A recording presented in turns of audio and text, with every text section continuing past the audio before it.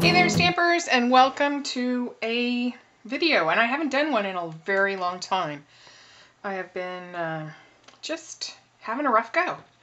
So I decided to um, not stress myself out doing videos all the time and feel that pressure. And um, But I had a great request. Someone purchased my Every Bunny card class planner and was a little concerned about the coloring. She felt she wasn't great at it, but she said she was going to give it a go. And so she purchased the planner. So I told her I would do a, a video. I'm not going to do it on the planner, but I am going to show you guys what I do with my coloring. So I'm going to use, I think this is called Lean On Me, this set, and my room is a mess. I've been sick. I had the flu this week, um, fever and yeah, uh, blah, blah, blah. Anyway, so I'm just going to, I try to zoom in so that you'd have a good look. I almost always use the watercolor paper and StazOn jet black. So I'm inking up the stamp. And I just want good coverage. And I'm going to stamp it. Very cute. I love this set. But it'll work with any set. You can do flowers and it all works the same way. I have this little palette and I got it a hundred years ago um, when I was still doing a lot of traditional scrapbooking and I bought it with a scrapbook paint set. And so, you know, it's just a little plastic palette. Um, when I lose this, I will use the tops of our stamp sets and I'll lay ink down just like that and use it for coloring and you can see that it wipes right off add a little water and it's gone um, or you know spray it with with stamper. Okay I need to refill. Anyway but it does come right off like that. Um, and you can use the plastic ones that for wood. They, um, I just slip a piece of copy paper in there and I do the same thing. So using this palette, I'm going to lay down some colors that I want to use. So I'm going to start with um, a little So Saffron, some Crumb Cake, and I really don't know today why I'm picking what I'm picking. I'm just grabbing what's here. This is Primrose petals and maybe a little gumball green.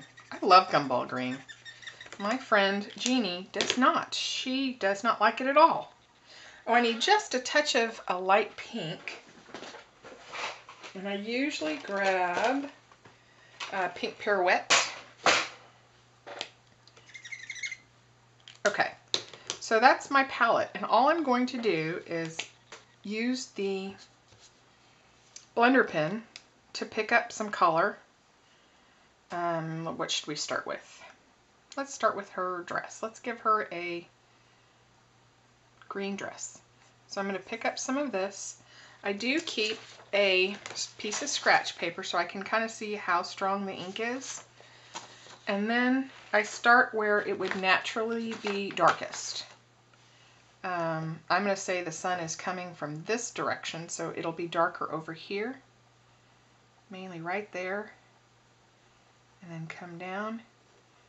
And then I just kind of flatten my brush out so I'm getting a, you know, a bigger stroke there, wider stroke. It is like the brush tip sort of of our pens. So you can see with that one little application, it's darker and then it starts to fade and I have that beautiful shading without hardly any work. Now see, I hardly have any ink there as com compared to this one. So I'm going to go back and pick up just a little bit more, test it. I'm going to finish this sleeve here and then come under the collar and do this sleeve. And just make some strokes like that. And come back. And make it a little darker under the collar. And I like the way that looks. Maybe just a tad more here there you go now I'm going to clean my brush by rubbing it on some scratch paper And let's make her a little blondie girl. So let's pick up some of this So Saffron. Now this is a light color, so I really pick up quite a bit on the brush. And remember the sun is not coming from this direction, so I'm going to start over here and then work my way towards the area where I think it would be lightest. And there she is. And clean my brush, made my pin. And then, let's see, let's give her uh, maybe this primrose petals for her collar. Oh, it's okay, little dog. And I don't know, what do I have on my palette here? We could make our butterfly that same color.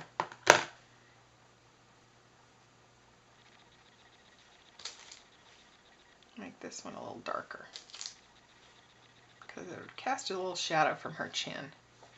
And now we're just going to do her skin. I'm going to clean this. And then I'm going to pick up some of that pink pirouette. And I'm I picked up not a lot. And I don't really want it to be this bright pink. So I'm taking some of it off. And then I'm going to start and and it'll fade. And that's all I'm using. That's it. Her face doesn't look like she has enough. So when I go back, since I don't want that real intense, this is where the area where I picked it up before. So I'm just going to go in there. There's going to be a little left, but it's diluted from the um, fluid that's in the marker already. And finish her off like this. And then you can pick up straight and then add a little rosy cheek to her. like that. Isn't that cute? But it really is, so the first time you do it, practice. You know, and then if you like the results, great. You know, you can go with that. I always like to add a little ground um, when I'm doing something like this. Let me clean this off the pink. I'm going to pick up some of the, I think it was crumb cake that I put down. And then I'm just going to start where her foot would be touching or right under the foot and then pull and kind of flatten the brush, the, the, the marker. And then pick up a little bit more. But I don't want it super dark, so I'm to, like this. And I'm going to pick up just a touch of that green. Blend it softly in.